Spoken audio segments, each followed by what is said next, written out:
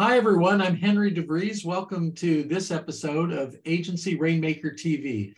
A very special guest from my past, Dr. George Belch, otherwise known as Joe Belch. Uh, Joe, so good to see you. Um, tell us, what are you going to talk about as far as the state of the advertising industry for these small to mid-sized agencies? Well, several things, Henry. I mean, one, I think it's always helpful to kind of look at where the industry is right now uh, and what, what's happening with it. And then what are some specific things that these agencies might do to attract more clients? I mean, business development is really critical.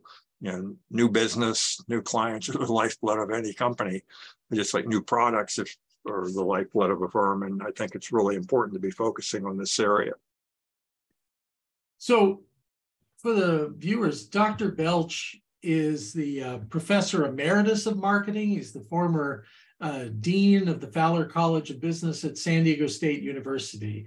He's the co-author of one of the leading textbooks in business schools when it comes to advertising and marketing, and that's uh, the uh, oh, I got to get the name right. I, I, have it on my shelf.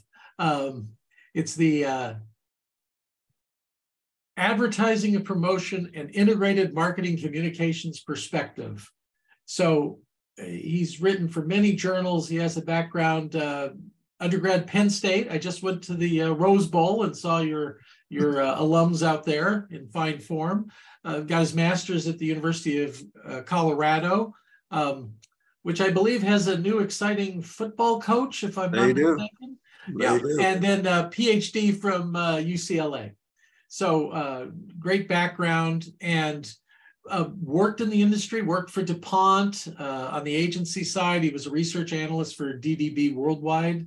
Uh, so certainly has his chops there. Um, well, let's talk about that. What are the best ways with your experience and research for agency owners to invest in business development? Well, you know, one hand, it sounds obvious, but you really have to understand what's happening in the business. Um, you know, we have just spent the last several months updating our textbook, creating the 13th edition of it. And that forces you to really dig into everything really deeply, to be reading the Adweeks and the Advertising Age and the Wall Street Journal, the Forbes, the Fortunes, uh, just everything, uh, blogs uh, about what's going on. And some of these developments are obvious. I mean, we know it's becoming a digital world. We know that uh, digital uh, media budgets are now surpassing traditional media budgets. And so clearly that has an implication that you have to have expertise now and digital for the most part. It's really hard to go out and just say, we can create great print ads for you when no one really wants print ads. Uh, that doesn't mean that these traditional media are dead, uh, but it does mean that marketers are, are going a different way. Um, it does mean, though, that some of those uh, things that we would do in print or television, video, you know, video is still very, very dominant. And so we have to be able to uh, take advantage of uh, our capabilities in those particular areas and figuring out how what we do lines up with what our clients really want. Um, you know, I think an important thing, and it sounds obvious, but is to determine what type of agency are you? I mean, sit down with your team and say, who are we really? I mean, what what is our capabilities? What is our area of expertise? Um, are we more of a traditional agency where we want to focus on creative and we still want to do some of the media planning, some of the PR things? Uh, are we more of a specialist agency I, I, mentioned digital more and more. We're seeing a lot the, you know, the growth of digital agencies where they focus on uh, you know creating websites. They focus on SEO, uh, pay per click type advertising, content marketing. They're really focused on all those different digital tools, um, and they're saying that's the capability we're going to bring to the game. Um, are we going to be more uh, even narrowly focused? Are we going to pick a, an even narrower niche? Or maybe we want to step back a little broader and say, maybe we're a little more of a marketing communications consultancy. Um, so you have to ask yourself, what do we want to do? Where do we want to play? Um, and what are the capabilities that we really have that allow us to do that? Um, what you don't want to do is go out and be writing checks that you can't really cash with your capabilities. You can't be going out and promising you can do things unless perhaps you could partner with someone else and develop some type of relationships that will allow you to do that. Um, so, you know, that's one thing you have to ask yourself. And then I think you also have to think about what is our niche? It's very difficult to be a broad-based marketer today. Uh, and I don't mean just in the agency business. I mean anybody in marketing. Even if you have a broad product or service line, you're still going to have individual brands or divisions that are focused on on niches. And I think particularly for smaller, mid-sized agencies, uh, it's very difficult to compete with the big agencies that are owned by the big holding companies. Uh, you know, that's been a major change that we've seen now. Interestingly enough, it's not only the big holding companies, but now we've had the big uh, consultancies pop into the game. Uh, Accenture and uh, IBM and uh, Price Waterhouse, PwC, they now have digital capabilities. One of the largest agencies is uh, uh, Accenture Song, uh, which really is a, a division of the Accenture consulting firm. Of course, they made an interesting strategic move recently because they went out and bought Droga 5, who is one of the leading creative agencies, an independent agency. So what that tells you is that these big guys are trying to improve their creative capabilities as well. But I think you have to ask yourself, is there a niche that we can play in? I mean, if I'm really small, maybe what I have to do is say, I want to work with other startups. I want to work with entrepreneurial firms. Uh, my son has a startup company in the virtual reality space. Um, he needs capabilities, marketing communication capabilities. He uses PR agencies, he uses advertising agencies. Uh, he doesn't spend a ton of money on uh, advertising and marketing communications, but he has needs in that particular area. So you have to ask yourself, are there startups or are there e-commerce firms? Maybe you would pick a niche like healthcare. Uh, we look at the nonprofit space. We look at specific industries uh, where we can really specialize. I mean, keep in mind, once you get ingrained more into a particular industry, you become an expert there. You get to know it. You can transfer that knowledge. You can transfer some of the capabilities um, uh, you have from uh, in, in that particular space. So uh, I, I, think finding that particular niche is important uh, and saying what's the one that we really do want to focus on. You know, another thing too, um, think about, look at yourself as a client for a second. Uh, you know, what you want to do is you want to, you might say, who's our ideal client? Um, and could we develop like a, what we call a consumer persona of that ideal client? Um, you know, this is something that more and more companies are doing, but could we develop that persona, that profile of that ideal client? What are their pain points? What do we bring to the table? What is our value proposition that we can offer to them that's point that's going to help solve their problems? And then sometimes I think it's good to sit back and say, you know what, let's take that skill set, that expertise we have, and apply it to ourselves. Think about it. What you're doing, you're going and you're pitching yourself all the time and you're working for clients and you're trying to help market them. But could you take that same skill sets, same things you do for your clients, and sometimes just have that retreat or whatever and say, how would we apply them to our own business? What could we do to market ourselves more effectively? Uh, and that could be very enlightening, I think, for, for an agency. Um, you know, I, I remember years ago I was doing a marketing seminar. And before we started, I said, Are there any questions before we start? There was a gentleman in the audience. He said, Yeah, I have a question. And he said, are you going to teach us the seven secrets of marketing? And I'm sitting there saying to myself, oh boy, I've been doing this for 30 years, teaching, doing seminars for companies, consulting, whatever, writing books. Man, I don't know seven secrets. So I was, you know, kind of thinking for a second. I said, no, I'm not going to teach you the seven secrets. I'm going to do better than that. I'm going to teach you the one secret. And I'd ask all your viewers to stop for a second and think, what's the answer or what is the one secret? Um, and I walked up to the board and I just wrote, marketing is hard work. Because it is, it is. If you think about it, it, on the surface, it sounds commonsensical and it sounds easy.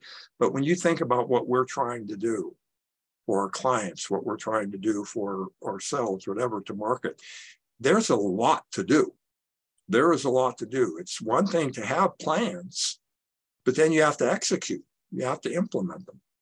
Uh, you know, how many times do we create great strategic plans and they sit on a shelf, and then when you talk to someone about executing, well, yeah, we'll get to that. We'll get to that. Or right now we don't have the people to execute it. Well, what, what's the value of that plan? It's collecting dust on your shelf if, if you really can't execute it. Um, so I, I say this because you don't want to get frustrated. I mean, you just want to sit back and say, this is hard work. It takes a lot, day in, day out, to do the strategic things, to do the tactical things, to go out and acquire customers, to retain those customers, to keep them happy, to keep them loyal, uh, to guard against them defecting. Um, you know, one of the things in the agency world is uh, people leave agencies. And you have to sit there and look and say, why do they leave? Um, sometimes there are things beyond your control. I've worked with some smaller agencies that have worked for big companies like Coca Cola, and they've done fantastic creative work. And then I see them later and say, What happened? You, you're not doing it anymore. And they say, Well, things changed at the company. They reorganized, they brought things in house. Uh, you know, that's a trend, by the way, that we're seeing. Uh, more and more companies are developing in-house capabilities, and in many cases, it was originally with creative, and it was a way of cost savings. Now they're even starting to bring media planning and buying in-house. Uh, so that's a, an important thing that we have to watch carefully. Um, what are the signs of any vulnerabilities we have in our client agency relationships? Uh, because if you worked hard to acquire those clients, uh, you know, we know it's much easier to uh, grow base, and it's much more profitable to serve clients and to be constantly going out and chasing new business. So it's like the basic idea what's the lifetime value of a, of a customer? There's a whole area of that. And what's the lifetime value of the clients that you have? So you want to hold on to them as long as you can. Um, but what that means, let's go back to getting that new business. Uh, you, you've got to understand the target audience you've identified. And uh, that means doing a lot of research sometimes to figure out what's going on with them. Um, you know, there's a lot of basic things as well. I mean, you sometimes have to get out of the office, get from behind that desk, uh, build your offline presence. Um, going out, networking, um, doing seminars, becoming part of the local community, getting on the speaking circuit, uh, guest speaking at universities. Those people, you speak to an MBA class. You were in my, my MBA student many years ago. And think about it. I mean, you become a potential future uh, client. Uh, not for me, but for the agency person who might come in and do some guest speaking. And we know that students love to get speakers. Uh, they get tired of hearing from us, but they want to hear the real world. They want to hear who's actually out there doing it, not the professors who are up there espousing theories and uh, you know, kind of uh, some of the pie in the sky things that they think we do. It's just flavor, Dr. Belch. We just wanted a little flavor with it. We, you, you provided the main course, the the yeah. the uh, the protein and, and the good vegetables and carbs. Well, that's a good way to describe it. Anyway, the guest speakers are great. Um, you know, I, I think too, you know, you, you need to be obviously doing things offline, but of course you have to have a strong presence online. And I think what becomes important there for some of the things you could do in terms of things like content marketing, uh, blogging, uh, guest blogging. What are some of the things you could do to kind of establish yourself, your agency as a thought leader um, in, in, the industry? I mean, white papers, other valuable content. Um, I think sometimes we put that out there and we think people don't read them, but they do. I download white papers all the time. Now I have a different interest because I love to see what's going on. I'm writing about it. Um, but uh, you know, if you have valuable information, I don't think people are going to ignore it. There are people that have assignments, and there are people who are saying, uh, "What can I do to uh, improve my expertise in this particular area, to become more knowledgeable in that particular area?" Um, as you're doing those things, though, I think the important thing is to be focusing and showing how your agency solves problems for clients. Because that's really at the end of the day what they want. I mean they're sitting there saying who can come in here and really solve my problems or really do an excellent job of communicating helping me communicate and uh, get my value proposition out there to my customers? Um, of course, having a great website is still important. People go there, and uh, you want to know that um, I'm going to judge you by that. I'm going to judge you. I mean, if you're the really large agencies, I'm kind of surprised sometimes. The big thing with some of the bigger agencies now is they, they seem to put it a little less up there. Um, get a lot of white space, and they put up you know some of their work um, but I think if you're a smaller to mid-sized agency, it's great to highlight your work. It's also nice if you can show testimonials. If you can have a satisfied client uh, provide you with a testimonial and to tell you in that, to say in that testimonial what their problem was and how you solved it. Uh, again, because that comes back to that a problem solving approach. I mean, if you think about it, what are we as customers? We're, uh, you know, we're always looking for for solutions to our problems, right? Um, and basically, clients are no different. Um, it's not necessarily a problem per se, but it is that need to be able to go out there and have a strong presence on a regular basis. Uh, yeah, I'd mentioned partnering before. Uh, consider partnering. I mean, you may not have all the capabilities. I mean, you may not have PR capabilities, but could you partner with a PR firm? You may not have market research capabilities, uh, but could you work with a market research company or a consultant? Or if you don't have strong digital capabilities or SEO or PPC, could you find someone who might have that? Um, and so be be open to those uh, partnerships um, if that is something that is viable and something that could help you. Um, you know, you still I'm want. I'm seeing that as a big trend right now for the small to mid-sized agencies to bring in, as you mentioned, if they don't have digital capability, that if they don't have um, research, we know a company audience audit, and they come yep. in, and they serve that market and do research for for them, and a lot better than creating your own PR agency to bring in some PR specialists if that's called for. So partnering, uh, that's a great point. Yeah, I think it's a, it's a very viable solution because again, you sometimes can't really afford to, you know, have all the resources that you need in those particular areas. Um, you know, the basic marketing tools. Um, I mentioned content marketing, and a lot of that you, use effective email campaigns, the weekly newsletter um, that people see uh, that uh, has the catchy subject line, but also offers valuable content. Uh, something that uh, tips or market updates, uh, things of that nature uh, that people might be inclined to open. they might not open them all, but you know, if, if you can get a few hits in there, it, it, it could lead Sounds to... like integrated marketing communications to me. Um, I learned that somewhere. So, to your first point, it's a lot easier if you pick the the niche or even go super niche.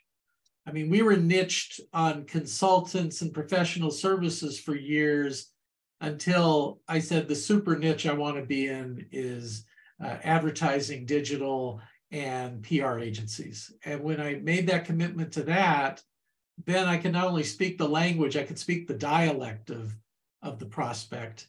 And the authority marketing that you advocate that we started to do really started to click because they felt it was to them, directly to them. Um, now, we mentioned the waterfront, you know, a thousand one ways to get business, and that's the problem. There are a thousand and one ways to do business development. What are you seeing is the best return on investment? Where should they be investing their money these days if you had to prioritize? Uh, I would probably be doing it in the digital space uh, somewhere. I would probably be working uh, through some of the social media sites, the LinkedIn's, making sure I'm really mastering that, doing the content marketing, um, you know, making sure that I'm uh, up to date on all the directories. I mean, getting myself listed, being everywhere. Um, I, I, would be focusing attention there. You know, one thing too is uh, you, invest your time and effort sometimes in having people who are beating the bushes a little bit, looking out there for RFPs. You know, the request for proposals uh, can be a viable option. The return there is pretty high. The opportunity to bid on an RFP, if you do a good proposal, um, that outlines your capabilities, that does a good job of demonstrating how your agency meets the criteria, providing examples of past work you've done. Um, don't just respond to it, invest in it, get some good time in it. Um, again, that, that's something that I think can be very helpful as well. Uh, but it, it's probably online. But again, um, I think I would be trying to spend some time offline. Um, building those relationships, going out, getting known in the community, um, getting known in the industry, that's going to be important as well.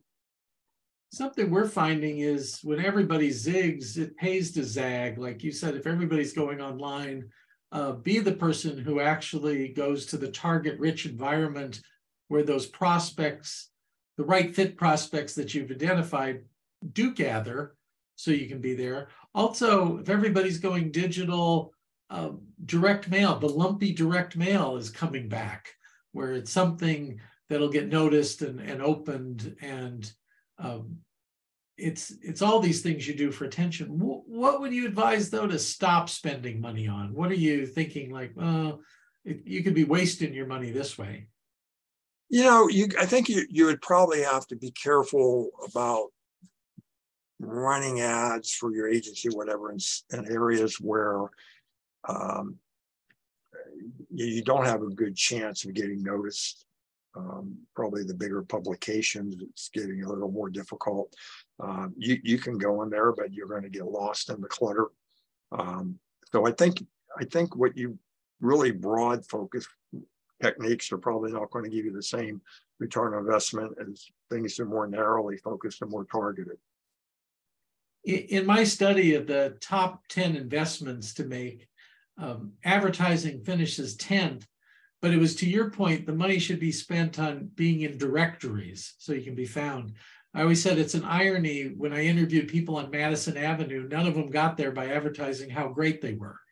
Uh, they did all these other things you were talking about, uh, being an authority, uh, putting on the seminars, uh, getting published uh, different publications that the clients read, uh, attending the client uh, prospect rich meetings, um, doing the online presentations, doing the workshops and seminars that you mentioned.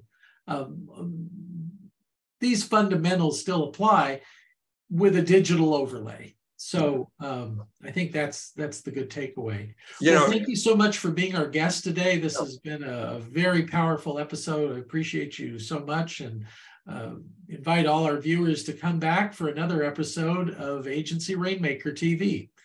Thanks.